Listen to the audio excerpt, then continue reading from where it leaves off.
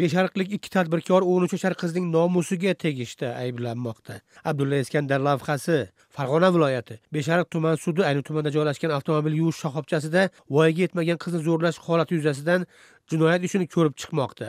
Ayblov xulosasida aytilishicha tumandagi avtomobil yuvish shoxobchasi qizlar bilan guruh bo'lib seks qiladigan fohishaxonaga aylantirilgan. Beshariq tuman sudi kotibining ozodlikka bildirishicha joriy haftada boshlangan mahkama beshariq tumani sirdaryo ko'chasidagi agra invest mtziga qarashli avtomoyka binosida o'n uch yashar qizning joriy yil may oyida ikki erkak tarafidan zo'rlangani borasidagi guvohlik ko'rsatmalari va ekspertiza xulosasini eshitgan. Ehtiyot chorasi sifatida qamoqda qolayotgan ikki beshariqlik erkak o'zbekiston jinoyat kodeksining bir yuz yigirma sakkizinchi moddasi ya'ni o'n olti yoshga to'lmagan shaxs bilan jinsiy aloqa qilishda ayblanmoqda tibbiy ma'lumotnomada beshariq tumani sirdaryo ko'chasida zo'rlangan ikki ming beshinchi yilning o'n ikkinchi fevralda tug'ilgan idining qizlik pardasi to'qmoq jism yoki taranglashgan jinsiy olat bosimi natijasida butkul buzilgani aytiladi. Joriy yilning yigirma birinchi mayida tuzilgan sud tibbiy ekspertizasining qirq to'rtinchi sonli xulosasida ta'kidlanishicha ich kiyimlar va to'shakdagi qon va sperma dog'lari tahlili jabrlanuvchining guruh bo'lib zo'rlanganiga dalolat bo'la oladi.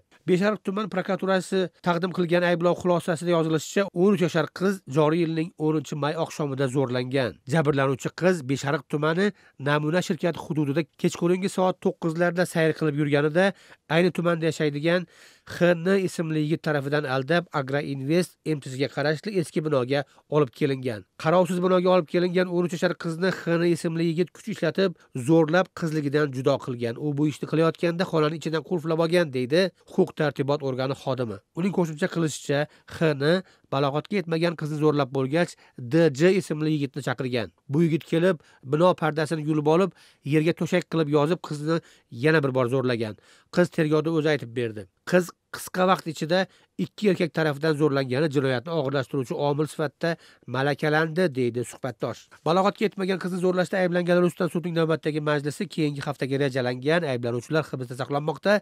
Balog'atga yetmagan qiz bilan bog'liq jinoyat ishi ko'rilayotgani bois sud yopiq rejimda o'tmoqda.